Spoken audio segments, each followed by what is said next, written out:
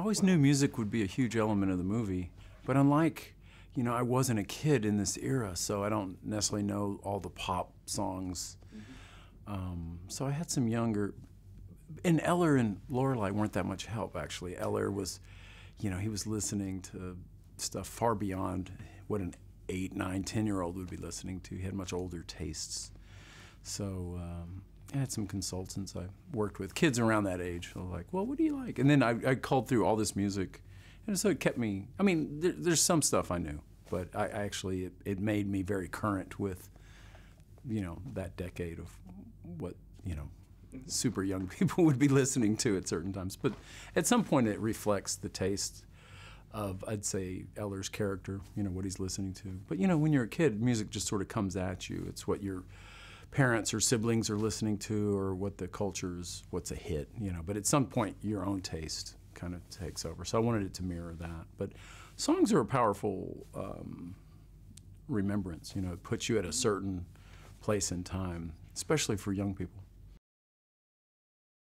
if you're older, you're just like, oh yeah, that, I like Coldplay. Yeah, that was sometime in there. But if you're a kid, that song it really hits a spot. To me, that just means it means early 21st century.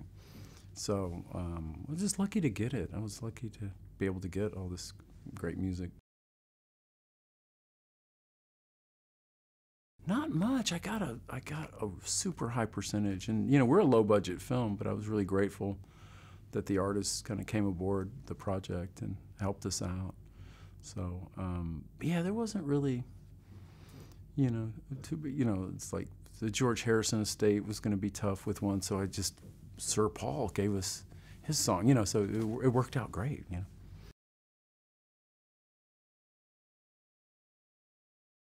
Well, you know, oh, without having score, you still want the music to work in a way that mirrors the feelings of a, of a certain time. So it's a lot of trial and error, actually. You know, you just try to get the music that sets the tone. You know, you can just, you know immediately, you know, you just, this doesn't work. Or like, oh yeah, that works. It's the fun part. It's the, really one of the most fun elements of making movies is, is the music. Ellar and Lorelei, he, he was as a kid, you know, his taste.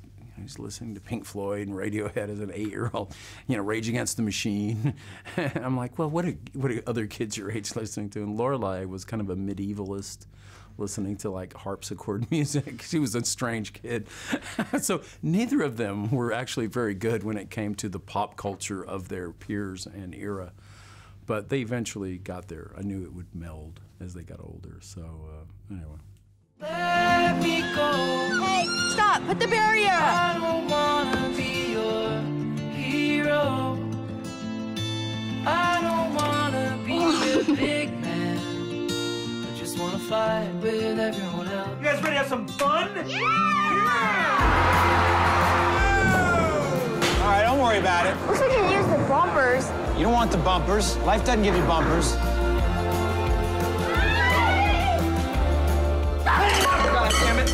We have a new student joining us today. Hey, dude. Welcome to the suck. So let me go. Mom,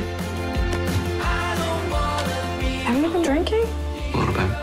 Oh, hey. Everyone deserves a chance to walk with What do you want to be, Mason?